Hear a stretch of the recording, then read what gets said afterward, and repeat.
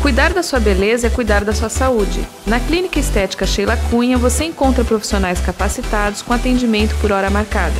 Venha para a Clínica Estética Sheila Cunha e marque agora seu horário pelo telefone ou WhatsApp 9659 5761.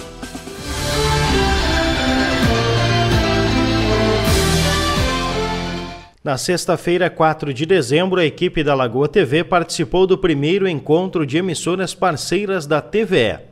O encontro reuniu representantes de emissoras comunitárias, universitárias, web TVs e privadas de todo o estado, que discutiram temáticas como possibilidades de financiamento da produção audiovisual, a importância da integração das novas tecnologias, o desenvolvimento de coproduções, entre outras temáticas.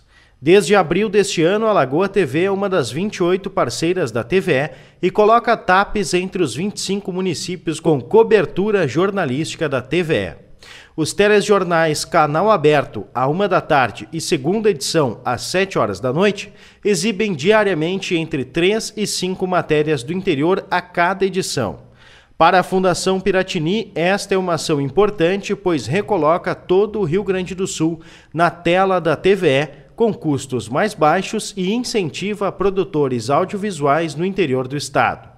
No encontro, foi elaborada a carta a ser entregue para o governador José Ivo Sartori, afirmando a importância desse trabalho para as emissoras do interior, que estão podendo apresentar todo o estado a sua produção e apresentar seu ponto de vista único.